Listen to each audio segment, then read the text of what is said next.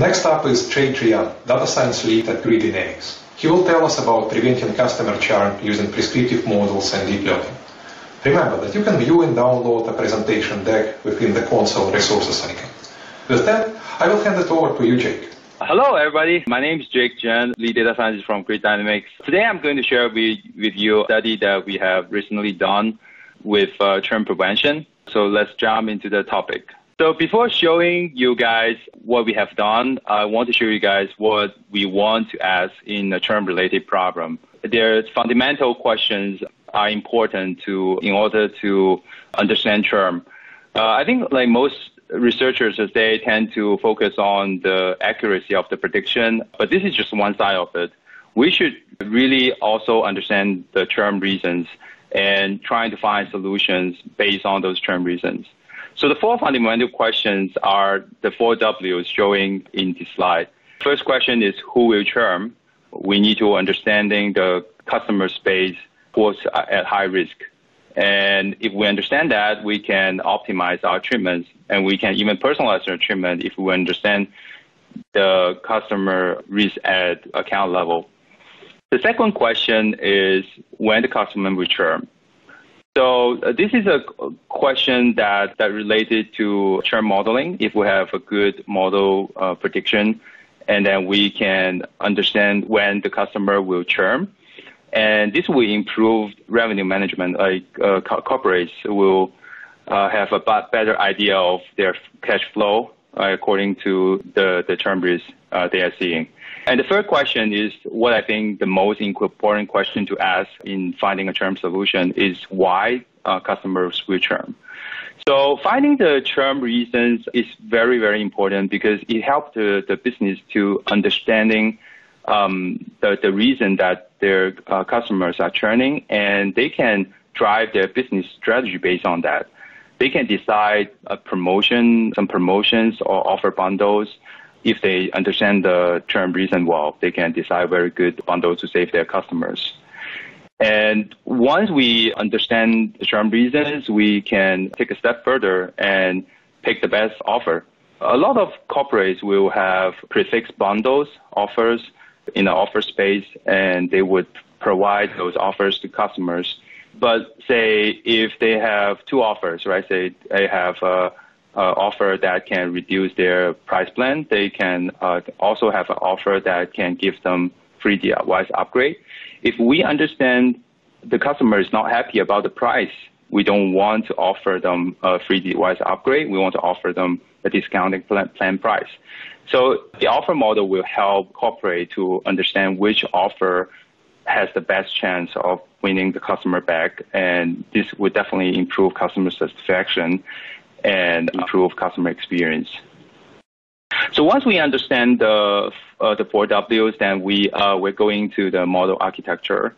First, we we would need some data to start with. We would need user generated content. So an example will be call transcript, like uh, customers call to the call center before the churn event and express their feelings, uh, most of the time the bad feelings, and they're trying to you know say something that they are unhappy happy about. So this is very valuable information. We can use a sentiment model to capture that and hopefully review the churn reason. The second data is the account data. So this is just a you know account level characteristics data uh, for the customer. Uh, the third data is behavioral data. Um, this is a customer journey data before the churn event, customer can have uh, a lot of sequ- a sequence of uh, a lot of events uh, happening. For example, he can go to a store and ask for some uh, technical help. He can go to a website and browsing some some URL. Uh, so those data we can study. We can use a transformer model and to study uh, the the pattern of the the behavior and find out you know which one leads to churn. So and then, and the fourth data uh, that we, we want to have is the treatment data. So it's the treatment offer history that reveals how customers are res- respond to different treatments. So once we have all the four data ready, uh, and then we can have the two-layer model. We, we, we build four models in a two-layer setup. The sentiment model is utilize the, the user-generated content and account data This is basically trying to find out who is at risk and why they, are, they will churn, uh, finding churn reason. Uh, the event model is served for the similar purpose, except that it's utilizing uh, behavioral data instead of user-generated content data. And the survival model, obviously, is to answer the question when the customer will churn. So you give a prediction on on churn or prediction on survival. Uh, on the second layer, uh, as we can see, we have some outputs from the first layer model. We will have the churn triggers. We will have the short-term churn prediction, the long-term churn risk profile. And then we also have the treatment model, which we answer the question, what are the best treatments? So together with that, uh, it all feed into the downstream system and processes. Each company will have different processes they're trying to use. So basically, they would just uh, utilize these results and either figure out a systematic way or a personalization way to prevent churn using our, our, our model outputs. Next thing I would do is I would uh, look at each model. Uh, we will talk talk about each model independently.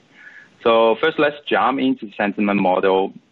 So in a nutshell, the sentiment model is just taking the call transcripts and feed it to an NLP bot, and then output the churn reason. And business can use the churn reasons for two two purposes. Uh, one is the systematic treatment, the other is personalization treatment. Both treatments are similar. The only difference is the target. Uh, in a systematic treatment, uh, we are targeting a group of customers that share the same level of, of uh, risk and also share the same uh, level of churn uh, reasons. And then we pretty much like everybody gets the same offer. And on the personalized treatment, which I think is more advanced and probably requires more accurate prediction, it's pretty much similar to one-to-one marketing. You you pretty much offer the customer based on the churn risk uh, that you see from this customer and the churn reason you see from this customer. But obviously, it requires very good accuracy at the customer granular level. So this is a more detailed methodology on uh, on the on what we do the sentiment model. So there, there's two main models running inside the, the sentiment model. So first, first of all, we want to extract negative snippets. So the negative snippets are the bad sentiments that uh, customers expressed during a call or, or interview. So the customer will have, so we, we put an example out there. So the customers begin with like good sentiments, which are in the green lines, and then it drops to mutual, and then on the origin lines, it, it starts to have bad sentiments. So our model would be able to capture those words around the, the bad sentiments, and then we feed to the second model is the topic modeling. So topic modeling is just a clustering model and outputs clusters that uh, have similar topics. And once we get the similar topics, we would have some uh, manual labeling and actually look at the output is a bag of words and we would look at those words and trying to understand this is whether it's a meaningful churn driver or churn indicator or just noise. So this is uh, what we do in the topic modeling. So coverage-wise, we have seen about, you know, after the negative snippet extraction and uh, after we filter out noise, we, we have seen about 30 to 40% coverage. This is pretty good coverage from our model. And then the common, also uh, list some of the common words, uh, common categories that we have seen uh, in churn labels. So for example, like in price related issues would have high prices uh, or payment terms. So, you know, people are just unhappy about, you know, different things. And then I think we can jump into the next model, the event model. So as I said before, the event model is utilizing a sequence of events before churn in the user journey. So first of all, I want to talk about uh, the input data set because there's a couple of modeling that, that we can consider, and we we, we find uh, the transform model uh, has the best performance, but there's a limitation on the transform model. It takes fixed length of events. So we can have uh, a user that have uh, 100 events, another user have uh, 58 events. So what we do is we kind of fix the latest event first. So that is the last event in the sequence. And then if a user have more events than we than the fixed length we decide, we just cut it. If a user that uh, have less, we would use some padding zeros to to get it to the fixed length. So in this way, the transform model can run and uh, and provide provide uh, results. This is just showing the transformer uh, model setup. Uh, so yeah, I'm not going to talk about all the details on uh, the the modeling, but I want to talk about the benefits of the transformer models over LSTM. So first of all, the transformer model is self-attention model, and it used to I think the original purpose is to uh, do translation. So uh, one advantage one advantage of it is it sees all words simultaneously. So uh, in our case, it would see all the events simultaneously. So unlike the LSTM, it would do like uh, word by word and do a backpropagation setup. And Transformer would be seeing all words simultaneously. And when you're running training inferences, it's just very efficient. And also Transformer is less prone to vanish gradient problem, uh, which is a very good thing. And more importantly, uh, it has very good explanatory power because uh, it uses self uh, attention uh, mechanism, so it's highly in- interpretable. So this is the steps that we, we, we use to uh, identify the churn reasons using transformer model. So first of all, we need to define the, the most important and frequent events. Uh, usually, uh, in our uh, study, typically there should be a hundred, between 100 to 1,000 events that, that should be important and, and very frequent. And then once we define those events in the population, we can compute the attention values associated with uh, these events, so which is showing in the uh, on the right, uh, on the left side of the of the chart. So we would have self-attention weights, and then we would use clustering techniques. We use k-means here. So so basically, you use k-means to cluster based on the self-attention weights.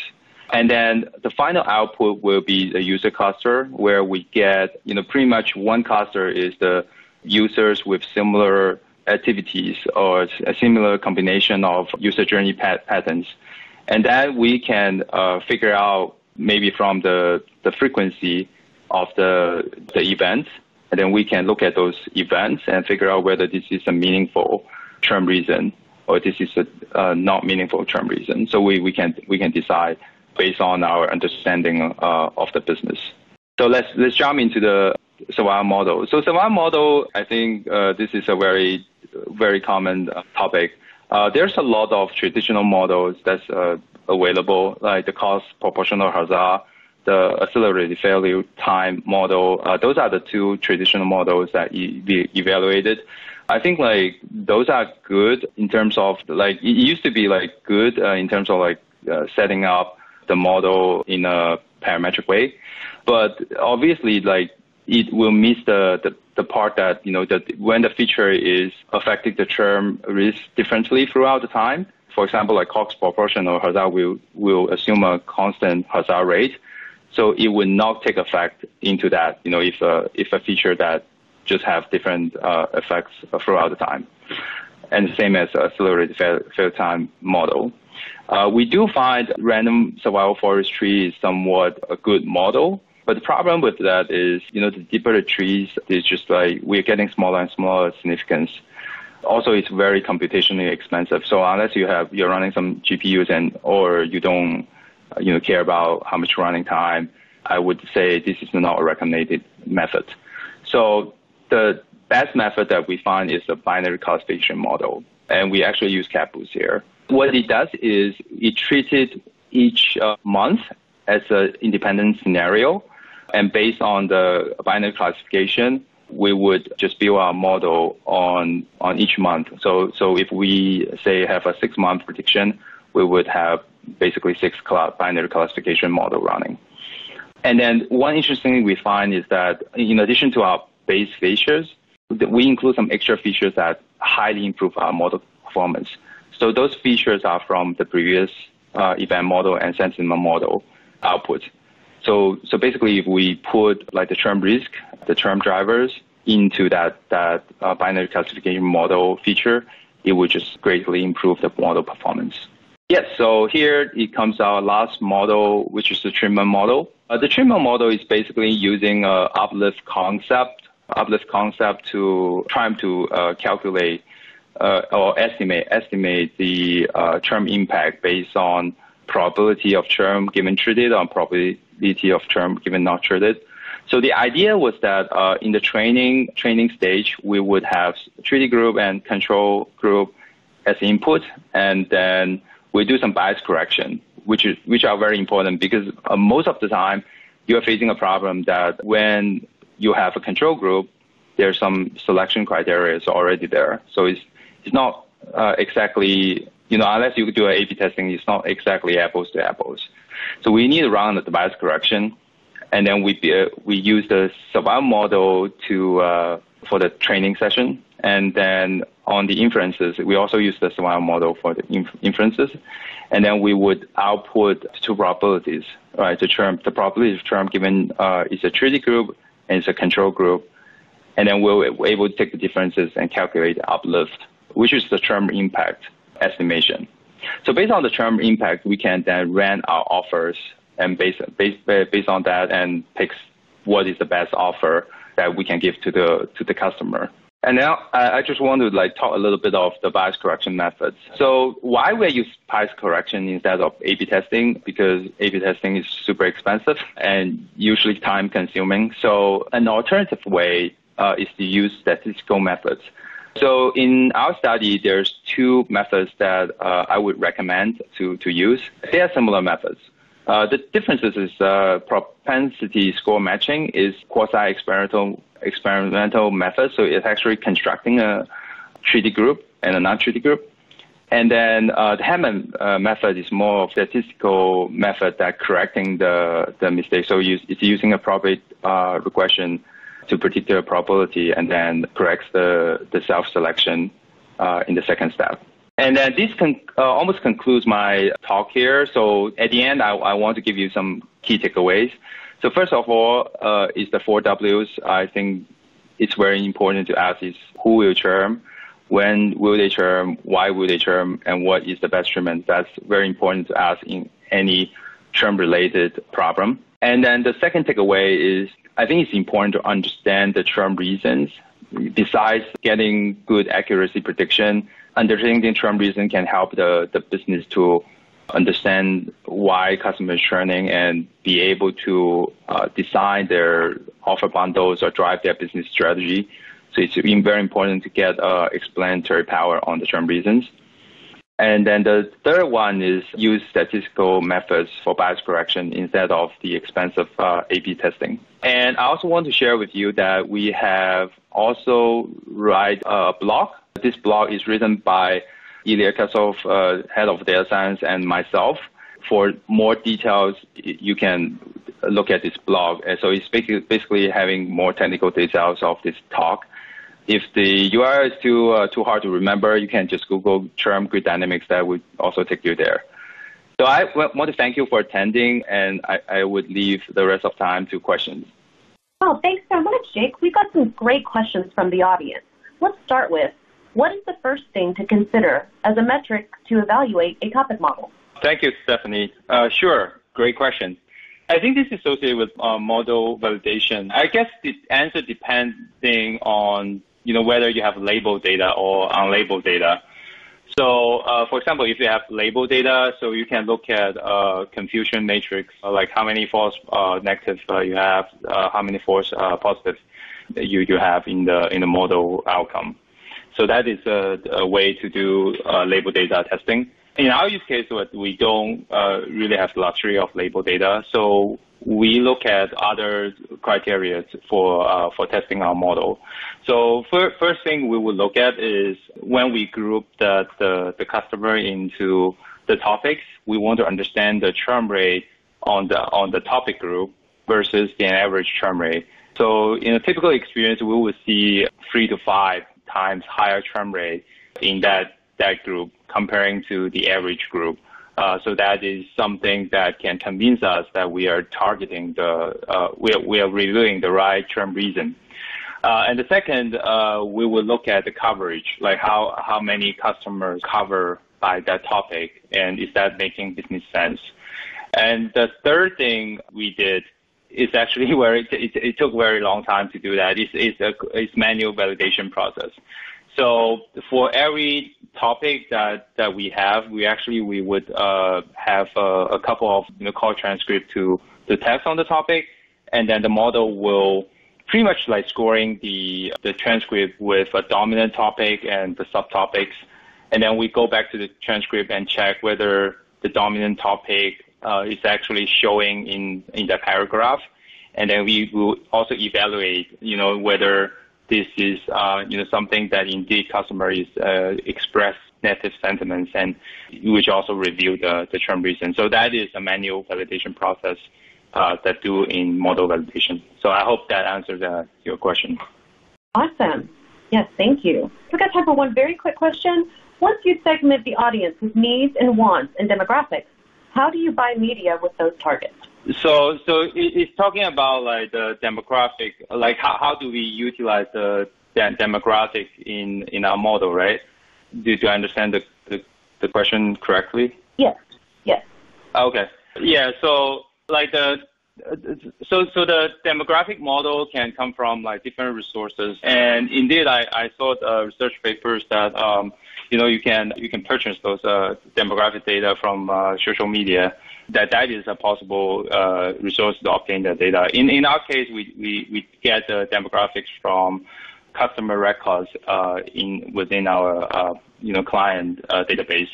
So we pretty much just like evaluate those uh, customer uh, demographics and put it to our model, and you know pick like basically like picking whoever's that's more significant to our model, and then removing the ones that are somewhat non-significant. And there's also so I, I, I think it depends on industry. There are some regulations using demographic data. Like some industry would prohibit uh, you using things like gender uh, or age that, that is considered discrimination. I, I think that is also like a consideration when uh, we're using demographic data to feed our model.